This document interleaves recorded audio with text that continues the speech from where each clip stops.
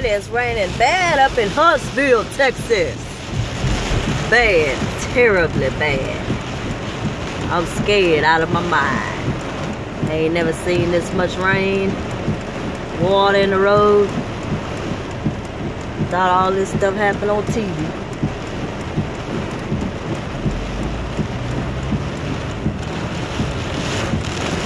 Woo! I need me a truck. All this. Gotta get me a truck. I ain't got time to get stuck in no damn road.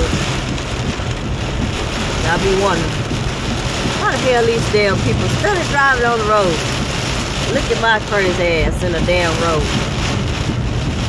Get my ass back to this damn house.